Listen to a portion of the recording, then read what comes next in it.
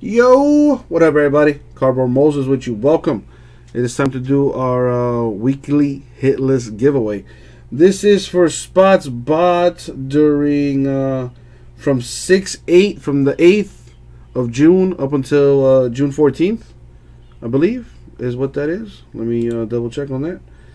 Yes, this was from spots purchased from June 8th to June 14th for breaks that we filled during that time span. If you went hitless in a break, my sorters went ahead and uh, put a nice little check mark letting us know who went hitless. We then put that list together, and then uh, depending on what breaks we filled for that week, we'll give X amount of break credit. Me and uh, the cardboard Jesus determined because of what we filled during that week, we're going to give away $300 in break credit. Uh, the way I decided to do it was to split it in uh, six ways. So six different spots are going to be receiving $50 in break credit. Let's go ahead and do that now. All right. Let's go ahead and uh, do it to it. I know, Chris Fitz. I'm actually going to put that like down here or something. But yeah, definitely going to do that.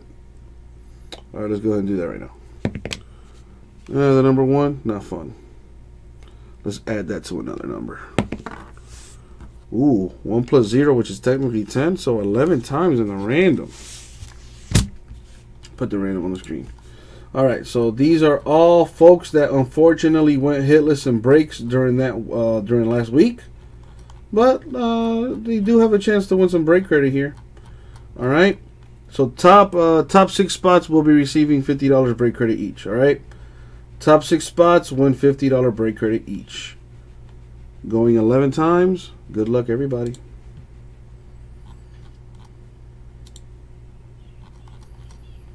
Two. four, six, eight. And now the money shot. Good luck, everyone. Boom. 11 times. Going to the top six. Congratulations, David, Keith, Justin, Sean, Gary, and James. Top six spots will be receiving $50 in break credit. Check your emails, peeps. And that was the weekly hitless giveaway. Just give away $300 in break credit just like that. Thank you very much. We'll get this out to you.